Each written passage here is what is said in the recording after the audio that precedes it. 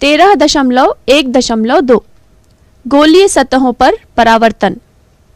हमने पिछले अध्याय में परावर्तन के नियमों के बारे में जाना था।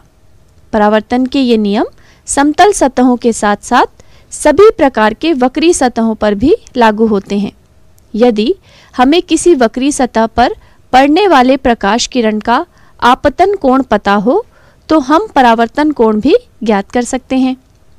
आपतित किरण द्वारा सतह के अभिलंब से बन रहे आपतन कोण को ज्ञात करने के लिए हमें सतह पर अभिलंब को ज्ञात करना होगा। वक्री सतह पर अभिलंब समझने के लिए आइए हम दिया गया क्रियाकलाप करें। क्रियाकलाप तीन। एक रबर का छोटा सा बॉल लें और इसे एक ही अनुप्रस्थ तल से दो समान भागों में काट लें। बॉल के बाहरी वक्री सतह पर एक सीधी रेखा में कुछ ऑल पिन लगा लें, जैसा चित्र में दिखाया है। ये सभी पिने बॉल के तल के अभिलंब लगाई गई हैं। ऑल पिने दूर फैलती, अपसरित होती नज़र आएँगी। अब यदि हम बॉल के अंदर की सतह पर ऑल पिने लगाएँ तो आप क्या देखते हैं? बॉल पर अभिलंबित ये सभी ऑल पिने एक बिंदु पर मिलती, अभिसरित होती नज़र आती हैं। इस क्रियाकलाप द्वारा हम जान सकते हैं कि गोली सतह पर अभिलंब की दिशा क्या होती होगी। उत्तल दर्पण बॉल के बाहर की सतह के समान है।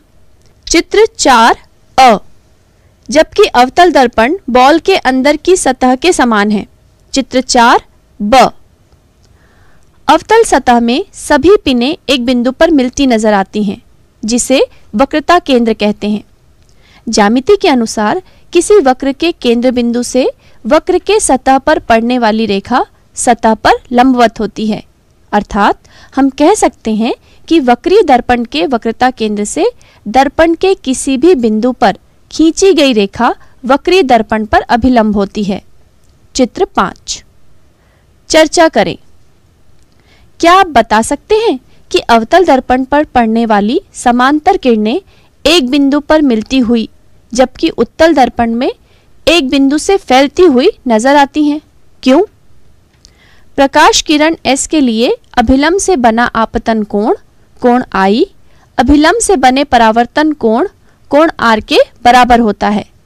कोण आई बराबर कोण आर